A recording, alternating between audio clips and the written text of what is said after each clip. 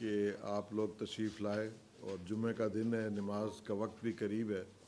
लेकिन मैंने सोचा कि जब कराची आऊँ और आप दोस्तों से न मिलूँ तो ये पॉसिबल नहीं है। आप दोस्तों की वजह से हमारा जो पैगाम है या इस अदारे के बारे में कुछ मालूम हैं पब्लिक तक बड़े अच्छे पॉजिटिव तरीके से जाती हैं। और मैं ये समझता हूँ कि ये कराची का जो प्रेस है, ये एक एग्जाम्पलरी नेचर का है। इसके लिए मैं पर्टिकुलरली बहुत मशहूर हूँ। दूसरी बात जो मैंने कहा एज दोस्त आपको जो है ना, सुन के खुशी होगी कि वफाकी से अगले चार सालों के लिए एशियन ओम्बर्ड्समैन एसोसिएशन का प्रेसिडेंट अनअपोज हो गया ये पाकिस्तान के लिए बहुत बड़ी कामयाबी है। पाकिस्तान के लिए जो है ना, ये एक इज़्ज़त की बात है, एक एजाज़ की बात है। और जहाँ हम देखते हैं कि मुल्क के अंदर बड़ी नेगेटिव चीज़ें हैं, बहुत कुछ हो रहा है।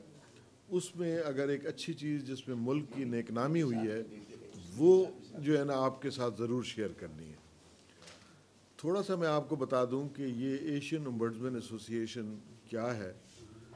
इसमें एशिया की जो सब एशिया बहुत बड़ा, आपको पता है कॉन्टिनेंट है। Two third humanity population world population इस एशिया रीजन में है। 47 मेंबर्स हैं इसके, और उसमें पाकिस्तान को अल्लाह ने ये एजाज़ दी कि अनअपोज हुआ। मतलब कोई हमारे सामने आया ही नहीं कंटेस्ट करने। क्यों? कि उन्होंने कहा, जी, आपके इदारे का जो हमने परफॉर्मेंस देखी है, जो कर रहे हैं, कितने मुश्किल हालात में, लाखों लोगों की जो दाद रसी हो रही है, और इतने शॉर्टेस्ट पॉसिबल टाइम में हम समझते हैं कि आप ही को प्रेसिडेंट होना चाहिए और हम कोई और कैंडिडेट आपके सामने नहीं लाते। इसमें चाइना भी है, इसमें इंडिया भी है, इसमें जापान भी है, इसमें कोरिया भी है। इसमें सेंट्रल एशियन जो है ना, कई कंट्रीज़ हैं, वो सारी की सारी और अल्लाह के फजल से इसको हमने एक्टिवेट किया है पिछले दो सालों से। इसका सेक्रेटेरिएट हमारे पास है। हर महीने न्यूज़ लेटर ई लेटर हम इशू करते हैं परफॉर्मेंस बाकी महोत्सव की और हमारी भी उसमें आती है तो उसकी वजह से एक मुल्क का नाम बेहतर हुआ है अल्लाह के फजल से। और उसका मैं आपको बताऊँ कि कोई अलाउंस नहीं, कोई तनख्वाह नहीं, लेकिन इज़्ज़त इतनी है कि मैं जब बाहर जाता हूँ मौसब की कॉन्फ्रेंस में तो हेड टेबल पे मुझे बिठाया जाता है। मेरे बगैर वो मीटिंग नहीं शुरू होती। मुझे प्रोटोकॉल हेड ऑफ़ स्टेट वाला मिलता है। मैं गया थाईलैंड, उधर ये प्रोटोकॉल दिया। उसके बाद मैं तातारिस्तान में हमारी जहाँ ये इलेक्शन होना था काजान सिटी है रशिया का तीसरा बड़ा सिटी है मॉस्को सेंट पीटर्सबर्ग और फिर काजान उधर उनके हेड ऑफ़ स्टेट ने अपनी गाड़ी भेजी जो हेड ऑफ़ स्टेट के लिए मेरे लिए। और प्रेसिडेंशियल स्वीट में उन्होंने कहा, जी, ये जो एशियन ओम्बर्समैन का प्रेसिडेंट है, ये रहेगा। वो मेरा गेस्ट होगा। तो ये इज़्ज़त है और ये इज़्ज़त एजाज कुरेशी की नहीं है, आज मैं हूँ, कल नहीं हूँगा। पाकिस्तान के लिए दिल खुश होता है कि पाकिस्तान की इज़्ज़त जो है ना, अल्लाह ने वो हमें वसीला बनाया। तो मैंने कहा as friends you would be happy to know दूसरा इंपॉर्टेंट चीज़ ये थी कि इस दफ़ा मैं स्पेशली आया था, जेल रिफॉर्म्स कमेटी की मीटिंग चीफ सेक्रेटरी के साथ हमने तय की थी। हर तीन चार महीने के बाद हम रिव्यू करते हैं।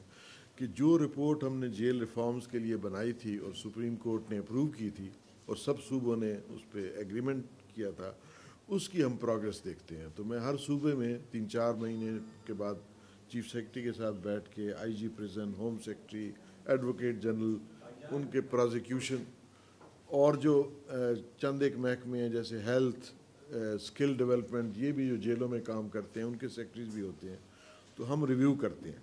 क्यों रिव्यू करते हैं कि मैं ख़ुद भी होम सेक्रेटरी रहा हूँ सेक्रेटरी जेल मुझे पता है कि जेलों में जो हालत है, औरतें, बच्चे, गरीब आदमियों की, वो बहुत बुरी हालत है। तो हम ये चाहते हैं कि जो हमने रिफॉर्म्स उसमें किए थे, उसमें प्रोग्रेस होती रहे और उसको हम प्रोग्रेस को ज़रा मॉनिटर करें।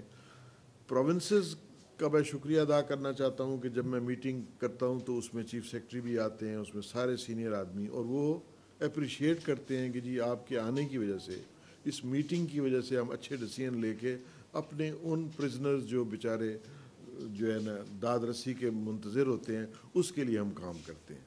तो ये कार खैर है और देखें जो इन्फ्लुएंशियल बंदे हैं, पैसे वाले हैं, उनको तो जेलों में भी आराम मिल जाता है।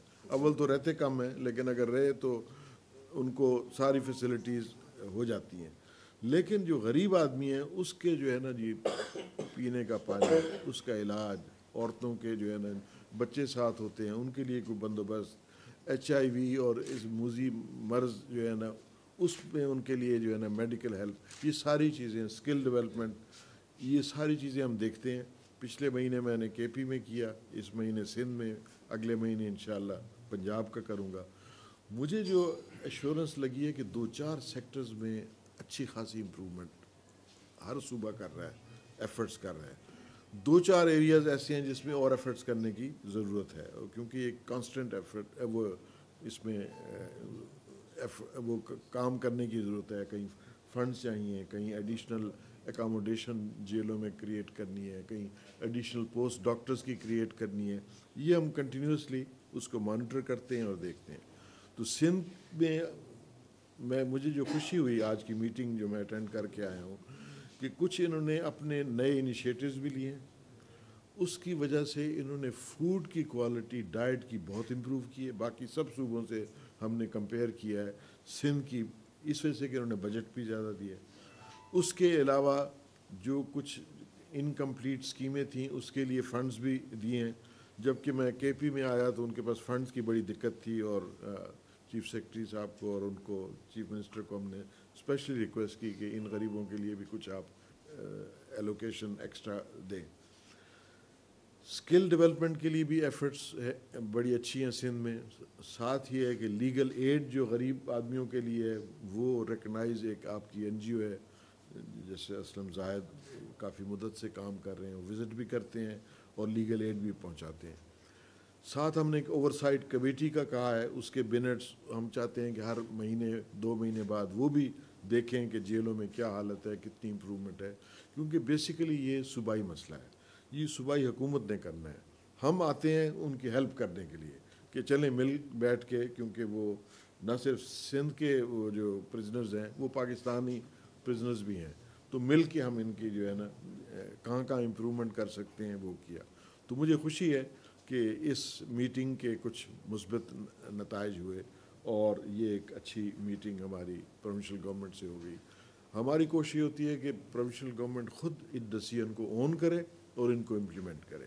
तो अल्लाह के फजल से उसी स्पिरिट से ये काम आगे बढ़ रहा है।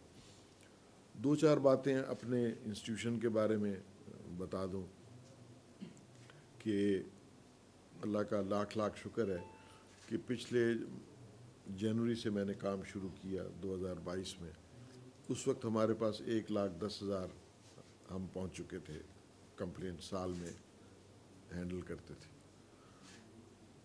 इस साल इन एक लाख नब्बे और दो लाख के करीब हम टच करेंगे।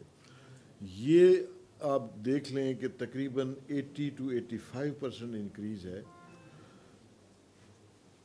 उसी बजट में उसी ह्यूमन रिसोर्स में हमने स्टाफ नहीं बढ़ाया, हमने कोई गवर्नमेंट को बजट करोड़ों रुपए नहीं मांगे, उसी बजट में हम कर रहे हैं। और किस तरीके से हो रहा है? दो चीज़ें मैं आपके सामने रखता हूँ। एक तो हम जो एडवाइज़र्स हैं, वो केयरफुली सिलेक्ट करते हैं मोटिवेटेड लोग हों, मेहनत से काम करें। दूसरा फिर हमारा, क्योंकि शॉर्ट कॉन्ट्रैक्ट होता है तो हम परफॉर्मेंस देखते हैं, हर तीन महीने बाद। और अगर जिसकी परफॉर्मेंस ठीक नहीं है, उसका एक्सटेंड नहीं होता। और जिसकी परफॉर्मेंस ठीक हो, वो दो साल भी रहता है, चार साल भी रहता है छः साल भी रहता है। ही इज़ एन एसेट दूसरी बात जो बतानी थी कि जी, हमारे एवरेज जो एडवाइज़र है, उसका आउटपुट महीने का पहले था कि जी सिक्सटी आपने करने महीने में केसेस बाद में मेरे प्रेडिसेसर के वक्त जो है ना, वो सौ से लेके सवा सौ तक पहुँचा। एवरेज में बता रहा हूँ, कुछ लोग इससे ज़्यादा भी कर रहे हैं। अब अल्लाह के फजल से 200 और 250 के दरमियान हमारे आईओ कर रहा है, उसी रिसोर्स में, उसी उसमें उसकी वजह से ये जो 80-85 परसेंट इनक्रीज़ हम ज़्यादा डिस्पोजल कर रहे हैं, वो उसी वजह से पॉसिबल है। दूसरा जो इम्पोर्टेंट फैक्ट है, जो आपके डेफिनेटली नोटिस में है, कि 60 डेज़ के अंदर कोई अदारा फैसला नहीं करता। चाहे अदालतें, सूबाई, महकमे हैं, दूसरे हैं, हम 99.9 परसेंट केसेस में 60 डेज़ में करते हैं। आप नैब के लॉ देख लें नारकोटिक्स देख लें, उसमें भी किसी में 30 डेज़ है, किसी में 60 डेज़ है। लेकिन वो नहीं हो पा रहे। वो इस वजह से भी कि उनका प्रोसीजर भी ज़रा लेंथी है, वो अदालतों में, अपीलों में चले जाते हैं। हम क्योंकि गरीब आदमियों पे कंसंट्रेट करते हैं। उनके बिजली के बिलों का मसला, गैस के बिलों का, पेंशन नहीं मिल रही, बेवाएँ हैं, इंश्योरेंस के पैसे नहीं मिल रहे। प्राइम मिनिस्टर पैकेज में जो उन्हें मिलना चाहिए था, तीन सालों से बेवा औरत या यतीम बच्चे धक्के खा रहे हैं, उनको हेल्प कर दी। पोस्टल डिपार्टमेंट बहुत बड़ा है रेलवे है। उसमें जो लोगों की शिकायत हैं, वो हम बेनज़ीर इनकम सपोर्ट प्रोग्राम में बहुत गरीब लोग हैं डिज़र्विंग हैं, उनकी केसेस सुनते हैं। तो अल्लाह के फजल से ये सिक्सटी डेज़ भी हम इंश्योर कर रहे हैं। हमारे आई पे, एडवाइज़र पे प्रेशर भी है, लेकिन वो अल्लाह के फजल से कर रहे हैं। और उसकी वजह से हमारी कोशिश होती है कि उनको हम जो रिवार्ड दे सकें। और ये जो अप्रिसिएशन है, आप जो प्रेस में अगर अच्छी बात हाईलाइट करते हैं तो ये दो तरीके से आप हेल्प कर रहे हैं। एक ये है कि ये मैसेज उन लोगों पे चला जाता है कि वो भी आके फिर हमारे पास कंप्लेंट ले आए, उनकी रेड्रेसल हो जाए। एक अवेयरनेस का इसमें हमारा कोई बजट नहीं खर्च हो रहा, जैसे जोम के करोड़ों के बजट हैं, या बड़े बड़े आपको पता है, करोड़ों के बजट देने वाले। ये आप दोस्तों की हेल्प की वजह से कि अच्छा काम हुआ है तो उसको छोटी सी खबर दे दी। उसमें लोगों को पता चल जाता है कि अच्छा पेंशन का केस उसका हो गया, उसके बिल का हो गया। दूसरी तरफ़ ये है कि हमारा जो स्टाफ जो लोग मेहनत कर रहे हैं उनको एक अप्रिसिएशन होती है कि अच्छा एक पॉजिटिव फीडबैक आ रहा है। एक चीज़ मैं आपके सामने और रखूँगा, और मैं समझता हूँ कि सबसे पहले अल्लाह का इनाम है, उसका फजल है, कि 40 साल इस इंस्टीट्यूशन को हो गए हैं, कोई आपको स्कैंडल कोई एम्बेजलमेंट कोई चीज़ नज़र नहीं आएगी। आप किसी और इदारे के बारे में ये कह सकते हैं, पाकिस्तान में मुश्किल है। तो ये सबसे पहले अल्लाह की है, लेकिन साथ इसमें हम सब की, मेरे जो प्रेडिसेसर थे, उन्होंने भी कोशिश की कि हमारा दफ्तर का माहौल अच्छा हो कंप्लेनेंट के साथ फैसिलिटेशन हो। और कोई करप्शन या पैसे का हमें ज़रा सा भी कहीं रिपोर्ट हम चेक रखते हैं सर्विलेंस रखते हैं, ज़रा भी हमें पता हो तो हम उस बंदे को फिर एक्सटेंड नहीं करते। तो उसकी वजह से अल्लाह ने इज़्ज़त रखी हुई है। वो इस वजह से कि हमारा ईमान है कि यार सब महकमों में बेचारे तंग आके उनका काम जायज़ नहीं होते। हमारे पास जब आएँ तो कम अज़ कम यहाँ कोई पैसे का चक्कर ना हो, कोई लालच ना हो और उनको भेजा तंग न किया जाए, उल्टा फैसिलिटेट किया जाए, उनको गाइड किया जाए कि उनका मसला कैसे हल हो सकता है। हमने आपको वो दूसरा पता होगा कि सेक्शन 33 को बरूकार ला के हम जहाँ हमारी जुरिस्डिक्शन नहीं है तो दोनों पार्टीज़ को हम एग्री कर लेते हैं तो उनका फ़ैसला भी हम कर रहे हैं। उसमें तीन हज़ार से ज़्यादा केसेस हम कर चुके हैं। उसमें लोगों ने रियलाइज़ किया कि यार वकील रखेंगे, अदालतों में जाएँगे, कई साल तक केस होगा नहीं। यहाँ एक ग्रेड इक्कीस बाईस का एक ईमानदार अफसर बैठा हुआ है, एक तजर्बाकार है। वो हमारा फ़ैसला एक न्यूट्रल तरीके से, अच्छे तरीके से करा रहा है तो उसको हम अवेल करें और लोग अवेल करते हैं। तो हालाँकि हमारा अपना वर्कलोड आपको जैसे मैंने बताया कि ऑलरेडी काफ़ी बढ़ा है, लेकिन उसके साथ साथ ये भी हम एक कार खैर है कि जहाँ पार्टीज़ एग्री कर जाएँ, उनका फ़ैसला भी हम करा दें, ताकि वो एक्स्ट्रा ख़र्चा अदालतों में जाने का उससे बच जाए और मसला भी उनका हल हो जाए। अपने स्टाफ से भी मीटिंग करते हैं परफॉर्मेंस भी देखते हैं। उस दफ्तर की कोई रिक्वायरमेंट होती है तो वो भी फ़र्स्ट हैंड नॉलेज हो जाता है, ताकि बजट में हम उनको जो जायज़ रिक्वायरमेंट है वो दे सकें। तो ये एक प्रोसेस है इन तीन चार महीने बाद विज़िट होता है, कराची हमारा बहुत अहम एक रीजनल हेड है। शुक्र यह है कि हमने सिंध में मीरपुर ख़ास, हैदराबाद, सखर में भी बनाया हुआ है। उधर भी काम अच्छे तरीके से हो रहा है। उधर भी विज़िट मैं करता हूँ। पंजाब में भी, बलूचिस्तान में भी के पी ट्राइबल एरियाज़ में भी हमने एक दो दफ्तर खोले हैं। अब अल्लाह वो करे कि गवर्नमेंट हमारी प्रपोज़ल मान ले। तो हमारी कोशिश है कि गिलगित, जो बहुत दूर इलाका है, उनके लोगों के लिए हम दफ्तर खोल लें। एक जो है ना आज़ाद कश्मीर हमारा एक इंपॉर्टेंट एरिया है, उसके लिए जो है ना एक दफ्तर खोल लें। उसके अलावा सिंध में जहाँ मुनासिब होगा, कोशिश हमारी होती है कि अगर प्रोविंशियल गवर्नमेंट कमिश्नर्स मेहरबानी करके सरकारी बिल्डिंग में तीन चार कमरे में दे देते हैं तो हम फ़ौर दफ्तर खोल लेते हैं, अपने बजट को स्क्वीज़ करके। वरना किराए की बिल्डिंग्स वाला उसका ख़र्चा ज़्यादा होता है, वो हमारे बजट में अभी नहीं है। और कोशिश है कि बजट में इम्प्रूवमेंट आए, लेकिन फेडरल गवर्नमेंट के जो आईएमएफ के साथ कंडीशनैलिटीज़ हैं, वो आपको पता है, वो टैक्सेस ही बढ़ रहे हैं और अखराज ओवरऑल भी बढ़ रहे हैं, महँगाई सैलरी इंक्रीज वगैरह। तो विद इन दोज कंस्ट्रेंट्स हमारी कोशिश है कि दूर दराज एरियाज़ में दफातर हों लेकिन हमने उसका इलाज ये ढूंढा है कि वीडियो पे हर एक के पास व्हाट्सएप है मोबाइल होता है उस पर भी हेयरिंग में वो शामिल हो सकता है। उसको आने की ज़रूरत नहीं है हमने उसको चॉइस दी हुई है तो दूर दराज एरिया चाहे बलूचिस्तान हो सिंध हो के पी हो उसमें लोग अवेल कर रहे हैं कि अपने घर बैठे हम उन्हें बता देते हैं एसएमएस मैसेज चला जाता है और ऑनलाइन जो है ना वो आ जाता है। एडवाइज़र के पास एजेंसी का है रिप्रेजेंटेटिव बैठा होता है ऑफिसर बैठा होता है बातचीत करके हम उसका वो हल निकाल लेते हैं। तो ये दो चार चीज़ें थी मैंने कहा आप दोस्तों के साथ। जी हाँ वो भी आप बता दें कि उसमें एयरपोर्ट्स की इंस्पेक्शंस हैं नादरा की है की इलेक्ट्रिक जहाँ ज़्यादा कंप्लेंट्स हैं उधर जाके कंप्लेनेंट से भी बात करते हैं मैनेजमेंट से भी और फिर एक उनको भेजते हैं रिपोर्ट कि जी ये ये चीज़ें ठीक होने वाली हैं। कुछ शॉर्ट टर्म होती हैं कुछ लॉन्ग टर्म लॉन्ग टर्म में फिर बजट ज़्यादा चाहिए होता है तो वो फिर हम फेडरल गवर्नमेंट से उनके लिए जैसे पोस्टल डिपार्टमेंट है दूसरे एजेंसीज हैं वो कोशिश करते हैं उनके लिए हेल्प करने की।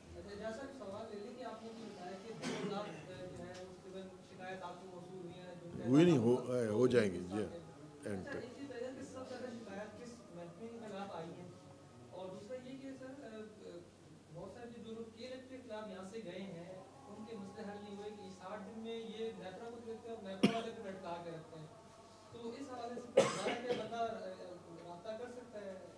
बिल्कुल, हर वक्त कर सकता है।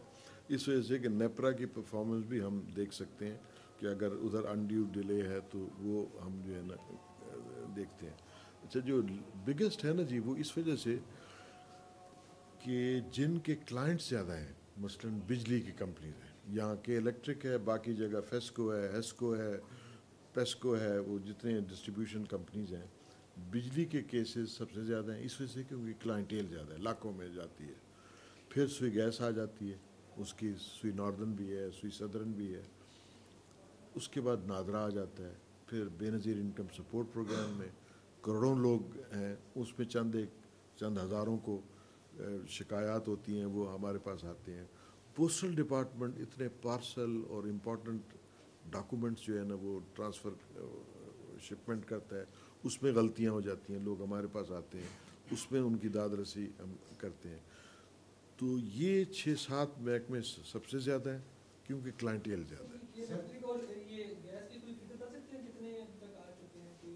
जी हाँ मैं आपको पूरे सबके दे देता हूँ। सर ये बताएँ सेक्शन 33 जो आपने रेफरेंस दिया उसको काइंडली थोड़ा सा डिस्क्राइब कर दें उसमें क्या क्या सकता है? वो उसमें ये होता है कि हर चीज़ आ सकती है प्राइवेट अगर उनका मसला भी हो, या ऐसी ऑर्गेनाइजेशन, सूबाई हुकूमत है, या कोई और एजेंसी है जो हमारे जुरिस्डिक्शन उसी हमारे जुरिस्डिक्शन में चंद एक चीज़ें बार्ड हैं लॉ में।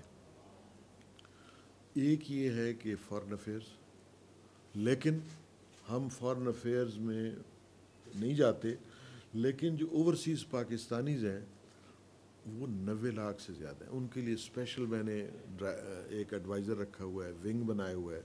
उनकी हज़ारों केसेस हम जो है ना डील करते हैं। अपनी लेवल पे और प्लस जहाँ सूबाई में